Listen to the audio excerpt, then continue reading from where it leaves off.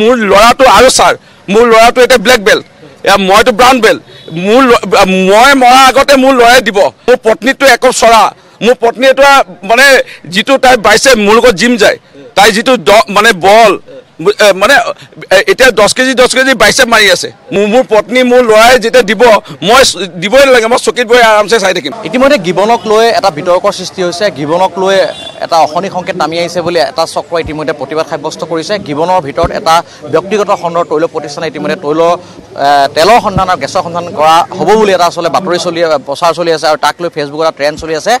Safe gibbon বুলি। আৰু এই সমগ্ৰ বিষয়টো সন্দৰ্ভত মই আহিছোঁ যিহেতু গিবনখন মৰিয়নি সমষ্টিত আছে মৰিয়নি সমষ্টিৰ বিধায়ক মোৰ লগত আছে। গতিকে মই ৰুজুতি কুমি ডাঙৰীয়া আছে মই ৰুজুতি কুমি ডাঙৰীয়া ওচৰলৈ যাম পোনে পোনে যিহেতু গিবনক লৈ এটা বিতৰ্ক চলিছে আপুনি গম পাইছে। এই সমগ্ৰ বিষয়টো সন্দৰ্ভত সঁচাকৈ গিবনৰ ভূগৰ্ভত বা বিগনৰ বুকুত তেলৰ সন্ধান চলিব নেকি বা গেছৰ সন্ধান চলিব নেকি? গিবন অভয়াৰণ্য যোৰহাট জিলাৰ একমাত্ৰ অভয়াৰণ্য। অসমৰ কেইখনমান অভয়াৰণ্যৰ ভিতৰত গিবন অভয়াৰণ্য। আৰু গিবন নামৰ এই প্ৰজাতিৰ বান্দৰৰ বাবে এছিয়াৰ ভিতৰত ইয়াতে পোৱা যায় আৰু পৃথিৱীত আহ, দুই তিনিটা ঠাইৰ ভিতৰত অন্যতম আমাৰ গিবনত পোৱা যায়। যাৰ বাবে গিবন অভয়াৰণ্যৰ নাম কৰা হৈছিলে আগতে হোলোঙৰ পৰা এইটো ৰিজাৰ্ভ ফৰেষ্ট আছিলে।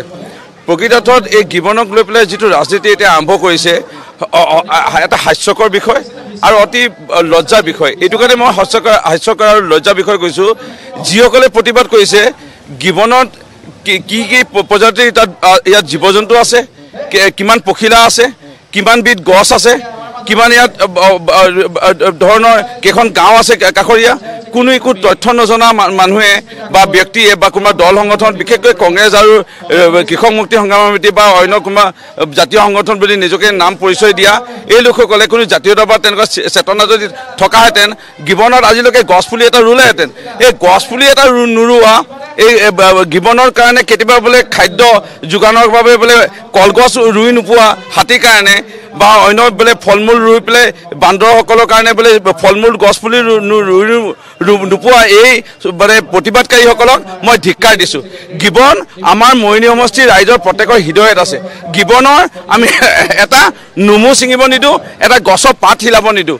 ইয়াত যি বেদান্ত কোম্পানী হওক অন্য কোম্পানী হওক যি কোম্পানী হওক থাকিল কথা এই কথাবোৰ আহিল ক'ৰ পৰা?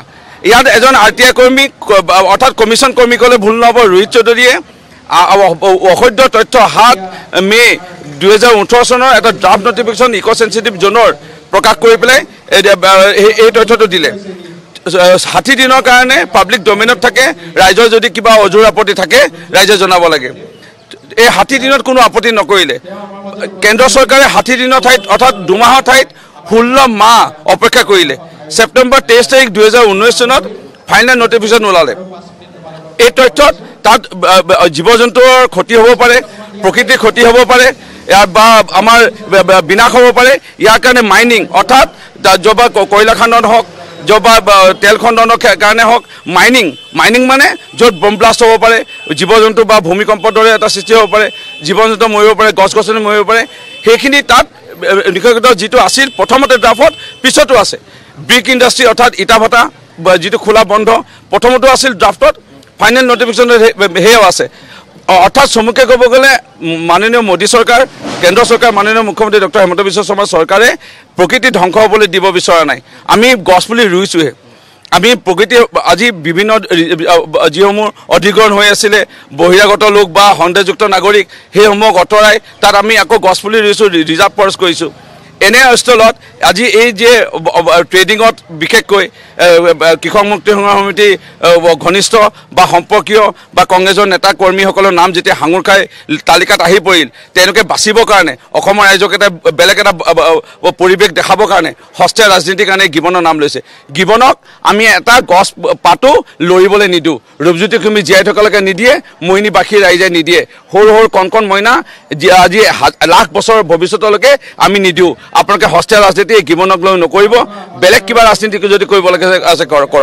কালি এটা আপোনাৰ মন্তব্য গোটেই তোলপাৰ লগাই দিছে এই স্পষ্ট কথা।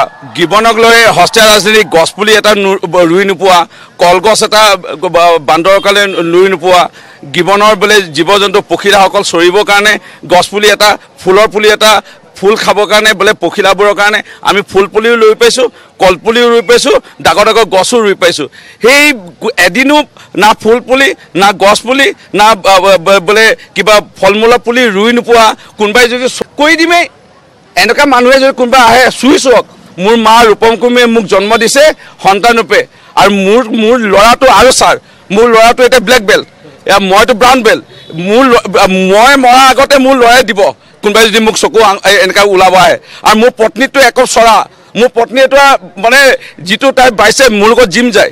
তাই যিটো মানে বল মানে এতিয়া দহ কেজি দহ কেজি বাইচেপ মাৰি আছে মোৰ মোৰ পত্নীয়ে।